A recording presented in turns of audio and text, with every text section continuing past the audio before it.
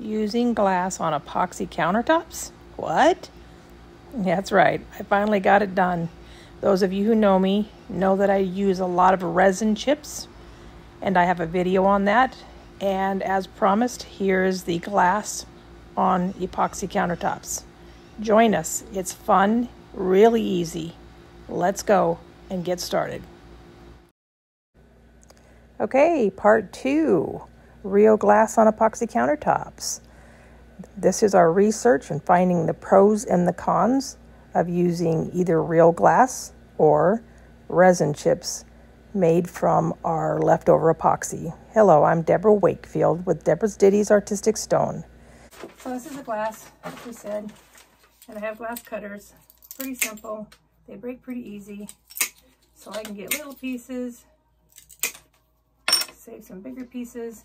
Pretty simple. This should go pretty quickly. Okay. Um, before I cut up anymore though, I do have to this, mix up my resin. Okay, on the resin chip table, uh, let me show you which one I'm talking about. Okay, that one that we did. Okay, that one, I did not tape the edges when I did it. It's in the other video. I did not tape the edges when I did that. Now the whole purpose of that, me doing the resin chips, was because I really like the idea of just using um, like I said, the stuff that we normally throw away, all my drippings and stuff. That's what I use for this table. Now, um,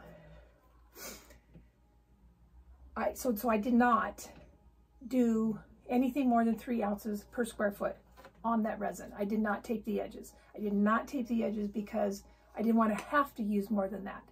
Now I will say, um, just as we're going to do with this one, if you do tape the edges, not just going to end up using a little bit more epoxy um, and it does create it, um, well, it just makes it easier to not have to sand quite so much. Um, even though resin sands really, really well, and that's the nice thing about it, is obviously they're not all going to be perfectly even, so you do have to sand a little bit.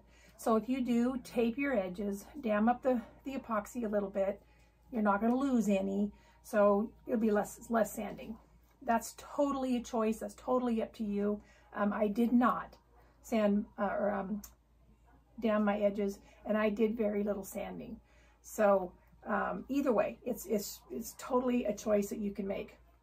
On this one, I am going to dam the edges. The reason being is this is glass. So we're not going to be able to um, sand it down so sand, sand the glass down to level. So I want to put an edge on this with tape so that it's all going to be perfectly level when I'm done because we're using flat glass. So I will be using probably six, I'll let you know for sure, probably six ounces per square foot up to eight ounces, really depending upon how deep I'm going to want it. The glass isn't very thick as you can see. So yeah, I probably, yeah, it'll probably be about six, six ounces. I'm going to try six ounces and we'll see how we do with that. Okay, but I just wanted to explain that, why I was damming this one and I did not dam the other one. Okay, let's get started with the epoxy. We're doing the second part of my research. Um, I have been asked many times, and I've showed this in my other videos too, because I'm doing a whole series. This picture here has come to me from six or seven different people. I think this is also on the Insider. Um, people have asked how to make this look. And I started a video um, last week on how I do this look with resin chips. What I call resin chips are the pieces that, that I peel off of the plastic after I am done um, pouring something. All that stuff that runs over the edge, it goes out on a piece of plastic. I, I save all of it. You have to watch that video to understand what I've done with it. And then I've made this terrazzo looking table. Okay. Now the reason I started all this is due to that picture because that is actually glass. And I've been asked, can you make this look? Well, yes, we can. We can do it with the glass. Okay, so today I'm going to make that same terrazzo look. Um, but I'm going to do it with glass. Okay, this is colored glass and it's um, flat. Okay, so today's table is going to be glass. It's flat, nice and flat. And um, we're going to do exactly the same thing we did with the Terrazzo table. And then we're going to find the pros and the cons to all of this, okay? Already, you probably already know one of the things that we're going to have to deal with when it comes to an edge. And that is, or, or when we deal with glass, and that is the edge. So we already know that we're, we're going to have issues with the edge with glass to make it look all the same. That's what we're going to deal with. With the resin chips, if you did not see that video, you have to go see the video because it is so cool. And the edges are the pros. I'm always trying to find the pros and the cons to all of this. And having resin chips is definitely a pro on these kind of tables. But that doesn't mean we can't use glass. And we're going to use this and we're going to figure it out. I've got some ideas. Now, I've done glass before. They have a glass. I've done lots of these, and this is glass. By the way, this has got to be, I haven't weighed it. I need to weigh this. It's heavy. It's like five pounds or so. I mean, it's really heavy, and it's glass. It's mirrored glass, and it is flat. This was actually done with fire glass, okay? And it is a quality piece, let me tell you. And it's absolutely beautiful. But now I have to put it into a table and make it all come together. Okay, so that's what we're going to do on this table. After I get done with this table, I am going to do another glass table and it's going to be crushed glass because this is actually um, crushed glass that has been um, grinded down. The glass has been grinded down. There's factories out there that makes these and they're beautiful. And they use crushed glass. They recycle, which is even that much better. Recycle glass. They just crush it. They put it in a cement mix and then they pour it into a mold. And this is done in, you know, big quantities. And they put it into a mold. Then after it cures, they take it out of the mold and then they take it and they do exactly what I'm going to try to do with resin, um, a resin table, and then they grind it. Now I've done this with um, cement and glass and stone. Works wonderful. Just have not done it with resin yet. So I'm going to do that. Now I'm doing all of this for knowledge. I really want to know if we can do it. I've been asked if we can do it. And so I want to put every one of these to the test and then we can figure out, is it feasible? You know, is it feasible for those of us who do countertops to do this? Is it going to be productive? Is it going to be cost effective? What are the pros? What are the cons? You know, um, when we deal with glass, and that is the edge. So we already know that we're, we're going to have issues with the edge with glass to make it look all the same. That's what we're going to deal with.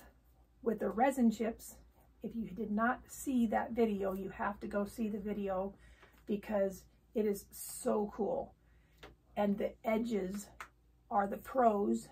I'm always trying to find the pros and the cons to all of this.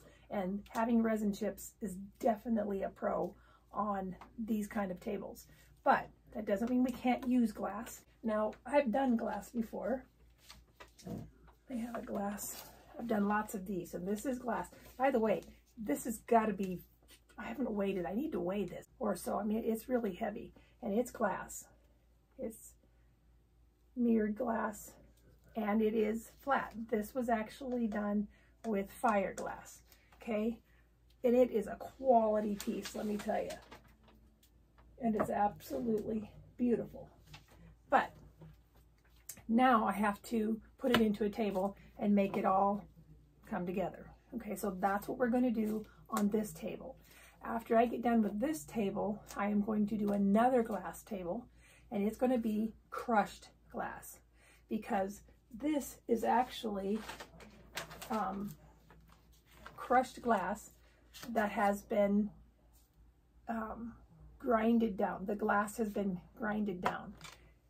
There's factories out there that makes these and they're beautiful. And they use crushed glass. They recycle, which is even that much better. Recycle glass, they just crush it. They put it in mix and then they pour it into a mold. And this is done in, you know, big quantities. And they put it into a mold. Then after it cures, they take it out of the mold and then they take it and they do exactly what I'm going to try to do with resin, um, a resin table, and then they grind it. Now I've done this with um, cement and glass and stone. Works wonderful. Just have not done it with resin yet. So I'm going to do that. I really want to know if we can do it. I've been asked if we can do it. And so I want to put every one of these to the test and then we can figure out, is it feasible? You know, is it feasible for those of us who do countertops to do this? Is it going to be productive? Is it going to be cost effective? What are the pros? What are the cons? You know, um, and when I'm done with them all, then I'm going to do a little blurb on what I found to be um, the pros and the cons. And then you guys can take it and do with it what you want. Meaning maybe what might be beneficial to me may not be beneficial to somebody else. Maybe you don't have the tools. Maybe you don't have the space for it. Whatever. We're going to find out what we need to do this and make it productive and to see if that it, it can be productive. So I have my epoxy mixed up and I'm just going to use the Pearl from Stonecoat.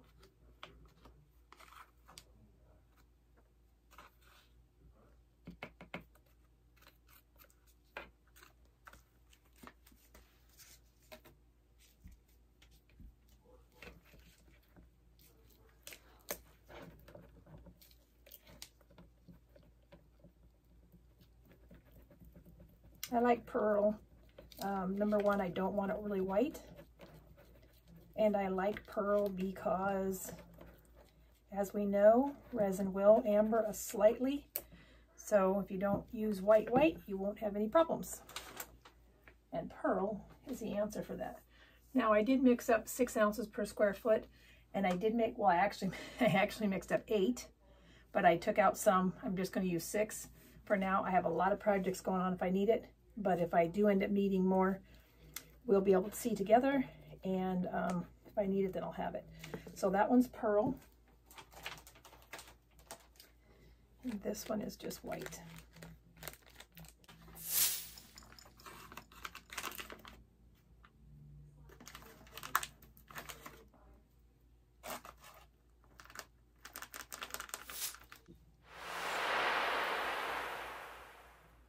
Just to break the metallic down. I don't break it down, but just make it doesn't make it look as metallic. And actually this works quite well. And I did not take away my pearl look, so, or the off-white color is what is really gonna make it more.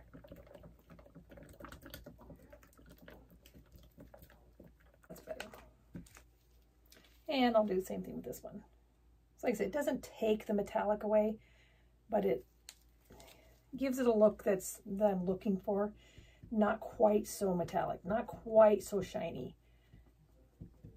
The pearl is easier to knock down. Oh, that does good. Yeah, I like that. Now, you may notice I haven't got the edges done, so I'm going to do that. I'm not going to make you watch me. So I will be doing that quickly and be right back. Okay, so I have this on there. I burnished it on there. You can see just a smidge on the edge.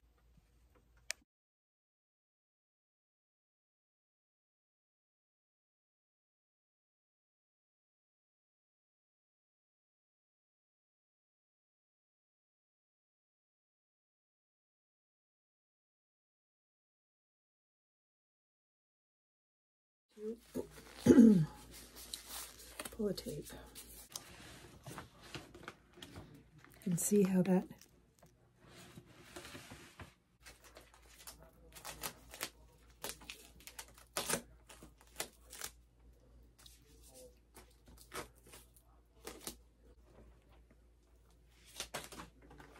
you can see that it's gripping very well.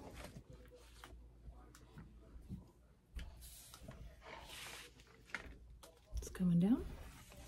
I'm definitely going to take some of our uh, flakes and just a little bit at a time.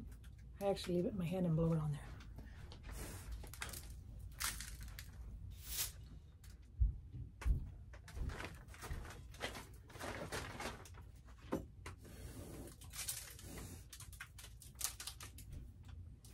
I'm actually not minding just the way that looks, but we'll see. We'll see.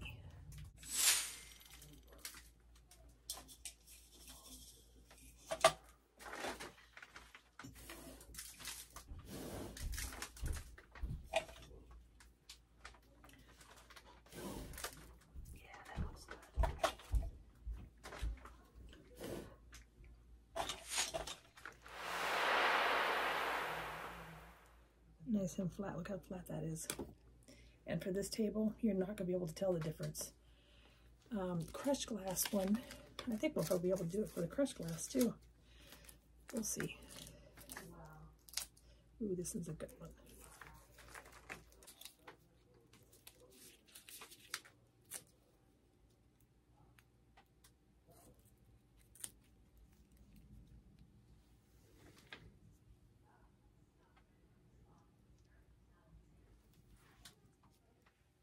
This orange glass that I was just raving over that I absolutely loved?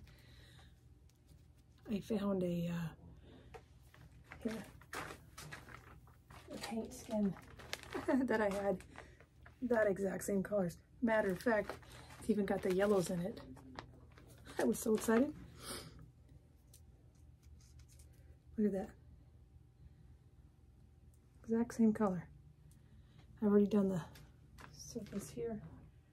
So I was going to put a nice orange one right. My goodness, that works so well. Anybody needs to know how to make acrylic skins, I can tell you. The blue one with some yellow. Okay guys, Today I'm going to put clear coat on my glass. And I just want to get a close-up now that it's cured, just to show you a little bit of the edges. Not bad, but there is definitely an edge. So we're going to clear coat it today.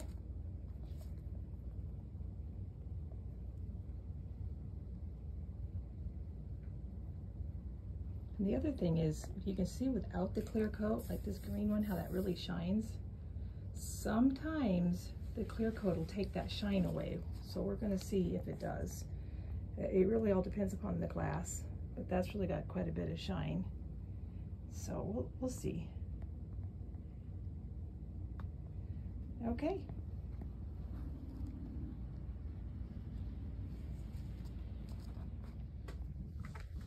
All right, this is after I poured it. So we still have edges, which is pretty much what I assumed would happen. But it's really just on the edges, the ones that are closest to the edge, which makes sense, because the ones in the middle, they're covered up pretty darn good. So what I'm going to do is I'm going to shut the light off to look at it from that perspective because what you're going to see, what I think you're going to see, is how all of these edge ones here and down here, they're going to be the ones that I'll show. But really, oh, and then the glossy, remember? I was worried about the glossy. It's still nice and glossy. So, all right, I'm going to shut the light off and we're going to see what it looks like. Okay, now in the, the light off, now you can see that edge on the glass one. And that makes sense. So this will definitely be one that we'll have to um, dam the edges. to get that to not be like that. Because even if I put another coat on, you're still gonna have that issue.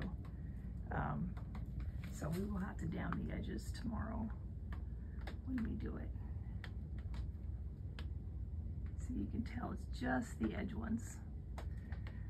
But then see what that does to the edges, it causes all of those ridges on those the edge, which you do not want. Um, I'll come back here in a few hours and I'll soften that out with some alcohol, but but just showing you that this, you know, this is one of the things if you was to do glass like this, that we needed to see. Okay guys, so ah, a year later, thank goodness you guys are just watching this video and you do it all in one time, but honestly, this is about a year later. Hey guys, welcome Abby, Abby and Debbie. Hey baby, are you saying hi? Can you say hi? Oh, say hi, say hi. Um, anyway, this is a year later and um, we are doing the pros and the cons of the glass versus resin chips. No, you're not taking my hair down. I know you want to take my hair down. she loves to take my little ponytail down. So anyway, sorry, big squirrel. Um, hi. Hi, honey. Okay, you want to see something funny? Take my hair down. That's what she wanted. We're doing the pros and the cons of glass versus chips. Now, I did this in a terrazzo look just simply because I was asked at the time if I could do a terrazzo look, a terrazzo look, and I figured that it would be a good time to do it. So that's the only reason I used the colors that I did. You could do this in any colors that you wanted to. So let's do the pros and the cons of, of this. Obviously, the pros to doing resin chips, no, is the fact that I do resin chips. I just take the, the drippings off of my old countertops. I pile them in a box and when I need them, I use them for my resin tables. And that's money, money, money saved. So you can't beat that in my opinion, okay? Um, if you haven't seen the video of me doing that, go look on my channel, it's there. So to me, that is a, huge pro. Another pro to doing the resin chips is the fact that resin chips, resin sands very well. So I can get it level and then I can put a flood coat on it and I can be done as long as you get your edges done right. That is not the case with glass. Glass cannot be sanded. It can be grinded. I know someone's gonna make that comment. And the next part of this, the last part of this whole glass versus uh, chips and all that kind of stuff is um, I'm going to do crushed glass. I've already done it. I've already done the video. I already know the answer. And can resin, can you use a grinder on resin and what will it do to it? And actually I was quite shocked with the results of that. And um, like really quite shocked of, of what happened with that. So I guess you'll have to watch that next one. And I don't think I use these colors. But anyway, um, so the glass can't be sanded in resin, so you would definitely dam your edges is your very best way to get this look. And by the way, um, if I remember right on this one, I don't think I did dam the edges. And I think I, I mentioned it really is a smarter way to do it. Dam your edges, put your, uh, your epoxy in here, let it set up before you pull, and you're just gonna be better off. But I didn't do that, so obviously you can do that too, but it, it probably would be a smarter way to do it. So the same thing with the glass.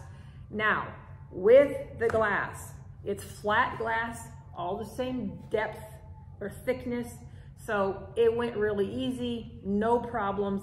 The only time you run into problems and I don't know if the video picks it up or not, and I need another coat on this, by the way. I, I wanted to do this video before I might put my final coat on here so that you can see.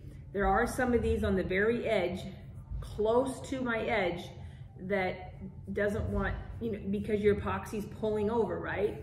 It's flowing over, so it, on the back side of your glass, it's not quite level. So I'm gonna have to do another coat on this. I will tape the edges. I will make sure it gets pretty thick before I pull my edges.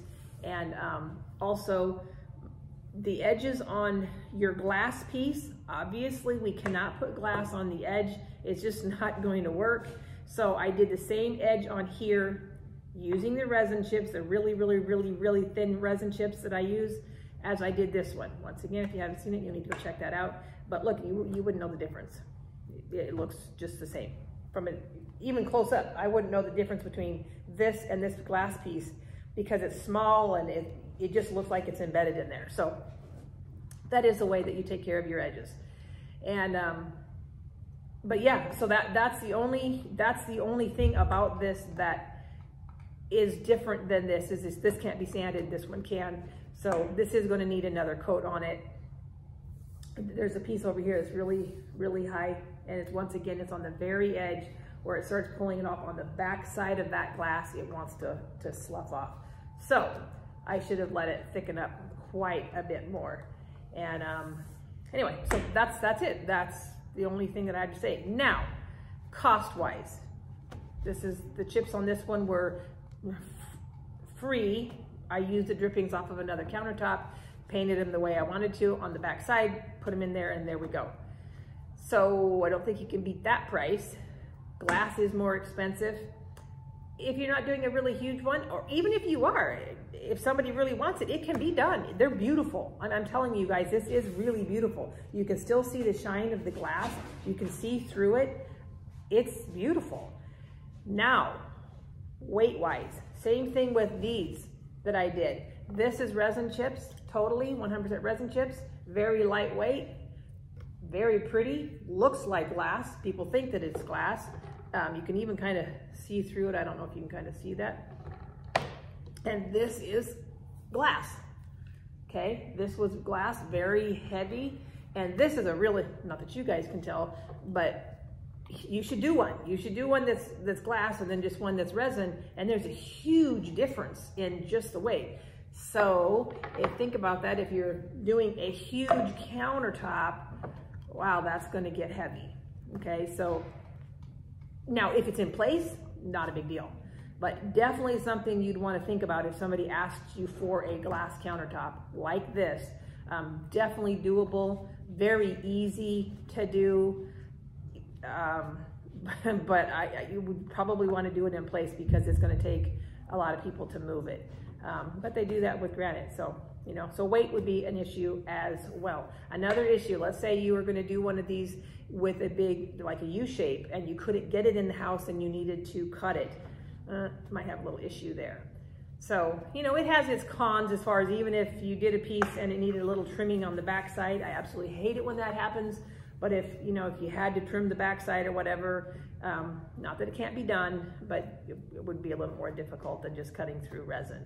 But all in all, guys, obviously it can be done. It's absolutely beautiful. And it was just kind of fun. I, I really wanted, the whole point of this was to see if us countertop people, if it was feasible for us to do this. And and I do see that it, it would be beautiful in, in certain circumstances and really not that expensive to do um, in a small situation. Larger countertop um, might be a little different story, but it's still, it's still absolutely doable. Like I said um, before, I have actually made um, a, a table out of a mold. Same concept as this. I just made a mold. You put your epoxy in there, you put your glass in there, and clear coat it, and you got a beautiful table. You know, you don't have to use these colors. Like I said, I chose these colors because somebody asked me to do those colors. But um, oh my gosh, it's gorgeous. So when you're talking molds, uh, which is what this is, the sky's the limit. I mean, you can put anything in a mold with your epoxy and glass and epoxy go well together. And that table's not been taken out of the mold yet. When it does, maybe I'll put it in this video or maybe not. It might be a year later. but um, so, you know, that's a, that's, that's a no-brainer. Doing glass and epoxy is is really simple. So we already know that that's, that's the easiest way to do it, the best way to do it. Anybody can do that. Um, I just wanted to see if we could apply it to our countertops because we don't have all of that. So there's your answer. And really, you guys, I have pros and I have cons to everything. You have to decide whether or not that's something that you guys can do. It's doable and it looks beautiful. And if this was a, if this was in place, this would be a fun countertop to do. Really fun, really fast. Glass breaks easy. It, it really is doable. So I, I, if, if, if anybody ever asked me to do one of these in their home, if it was in place, I'd go for it. I'd go for it in a heartbeat. It, it's fast and easy. And, um, you know, I would just make sure I got my edges good and definitely dam it before I actually pour my, my clear coat on it. Other than that, that's it. So definitely doable, a little more expensive than this route, has a few things to overcome on this one, such as your sanding. Okay guys, so that's the end of this one finally. Go onto my channel and watch the next one, which is I, I used crushed glass to, to make one and the results were phenomenal, shocking to me. I, I, I wasn't really sure what to expect and um, yeah, so I'm going to put another flood, flood coat on this. Maybe I'll put a picture, maybe I won't. I think we kind of know everything we need to know. And guys, if you do this, as I always say, please send me a picture. Let me know how it worked out, especially if you do it in place. I would love to see it in play, a, one done in place. And use whatever colors. I mean, like I said, this is really wild. this was a terrazzo look. That's why I did this. But I mean, I can see this in just, uh, oh my goodness.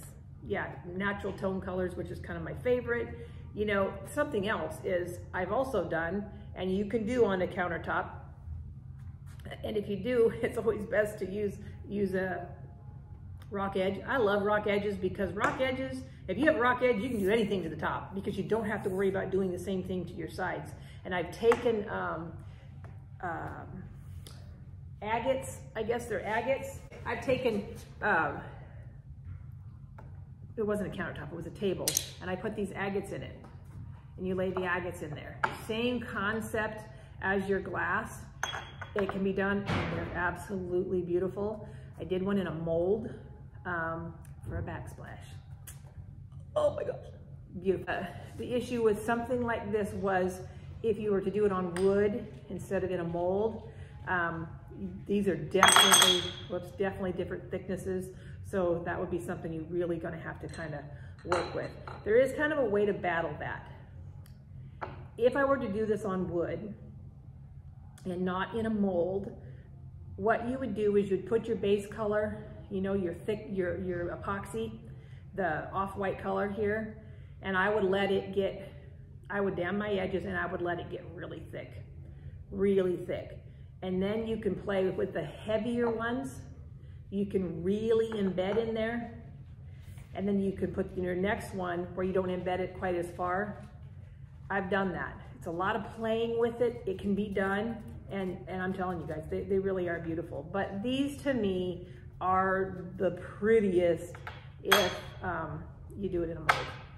So we won't even talk about the expense of that because that is really expensive, but they do turn out really beautiful. Same concept.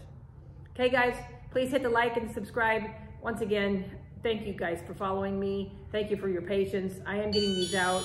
Um, like I said, it's been a year since this one, but I'm finally in my shop. I'm getting everything done and I'm just kicking out a bunch of the ones that I just didn't have endings to. So if um, I look like I'm wearing the same clothes each and every time, it's because I'm kicking out about five a day, just doing the endings. so we're gonna get this done. I know why people have teams to do this. Maybe someday I'll get. Till then, guys, get some epoxy, get your creative minds working, practice, practice, turn your sticky into stone. See you later. Okay. Remember I was going to show you really closely. Here's a good shot.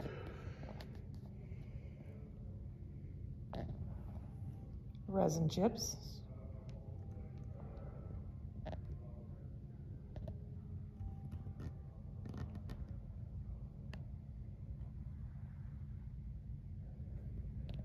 Glass.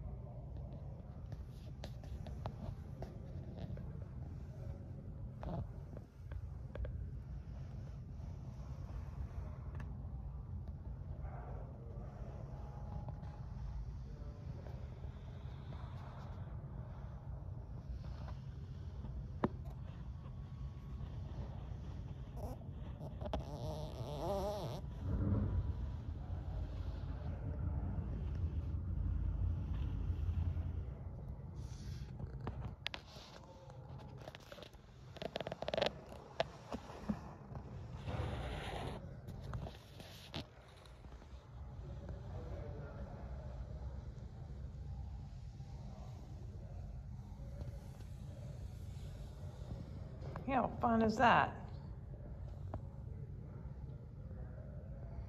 And then on to the other table, which is resin chips.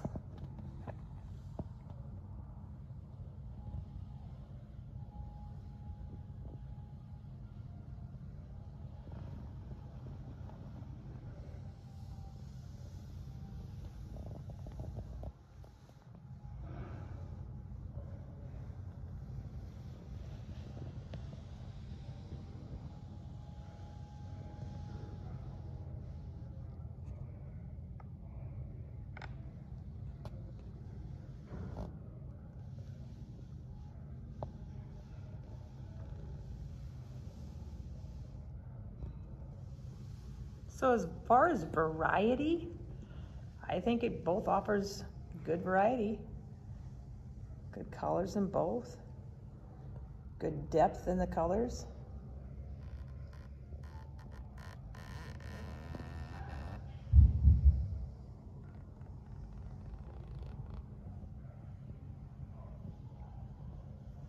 Okay, resin chip platter. Looks like glass, yeah?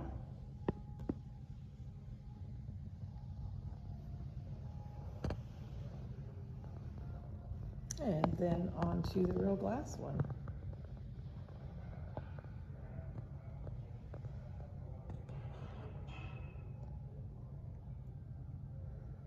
That real glass is kind of hard to beat. That's beautiful.